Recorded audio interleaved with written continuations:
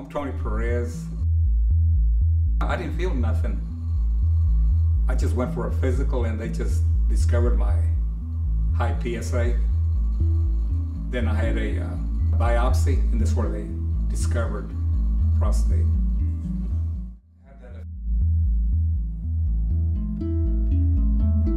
Well, Tony, he said, uh, I have good news and bad news.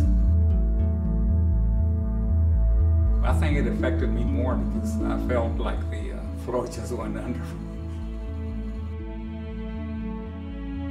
I waited 30 days and I had my surgery.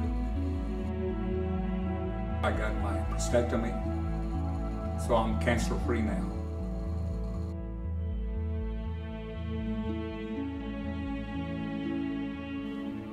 Get a PSA every year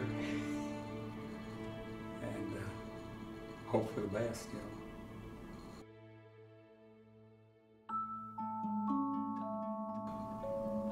going to my grandson's graduation at A&M.